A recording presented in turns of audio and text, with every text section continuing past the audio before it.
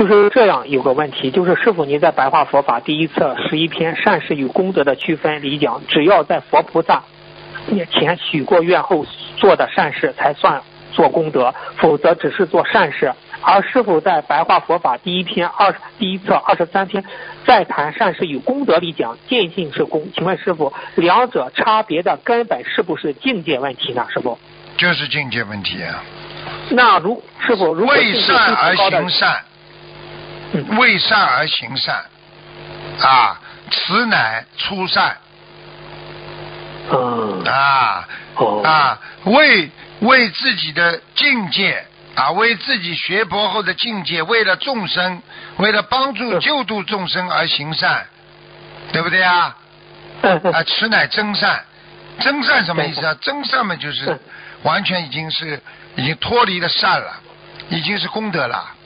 功德了。啊。哦。真正的善是什么？从本性来的呀。真是什么？那真如本性呀，真如哪里来的？真如么第九意识佛性这里来的呀。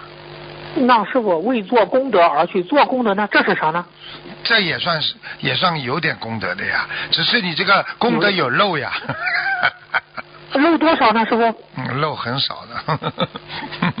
百分之多少呢？有有这样说可以吗？呃，那比方说我要举个例子，我才跟能跟你能讲百分比。比方说叫你做义工，对不对啊？你在那里维持秩序，穿着义工服，对不对啊？那你应该得到百分之一百的功德。但是呢，你今天要做这个义工，是为了孩子。啊，脑脑瘫，你来做这个功德的，我告诉你，百分之五的有漏。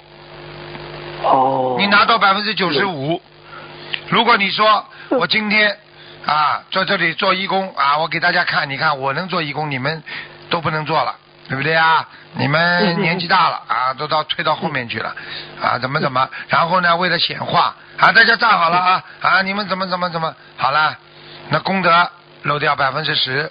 到十五，哦，明白了吗？明白。那百分之十到十五的话，你还是有功德的呀。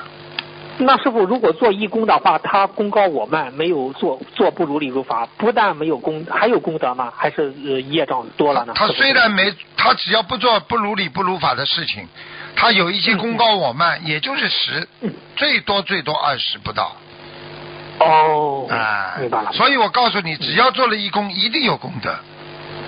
一定有功啊！你看有些有些我们义工的头在这里，嗯，那那那讲东讲西的，对不对啊？你看他怎么还各方面还是这么顺利啊？这么多人还是听他的，功德就算有漏很少，明白了吗？哎，明白明白明白明白。你只要不要冲上去打人就可以。那师傅，如果断一个人的慧命的话，哦，他这个业障会哦，这个比增加多少？啊，那这个功德功德大损呢。呃，这比方说，你知道这个人还在信，对不对啊？嗯。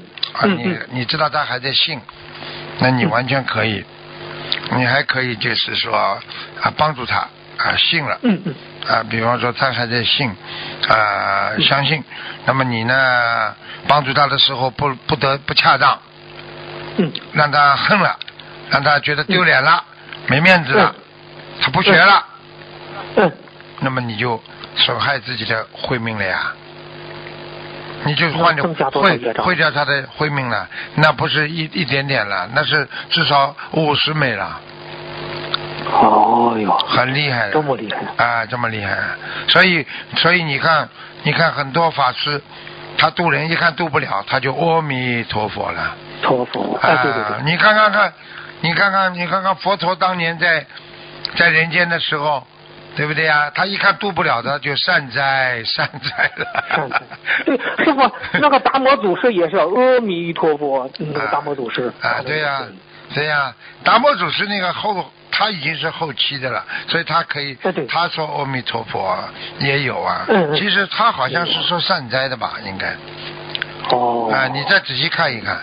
啊，因为佛陀当年全部说善哉哉，那个时候那个净土宗还没出来的时候，大家一般都是善哉善哉的呀。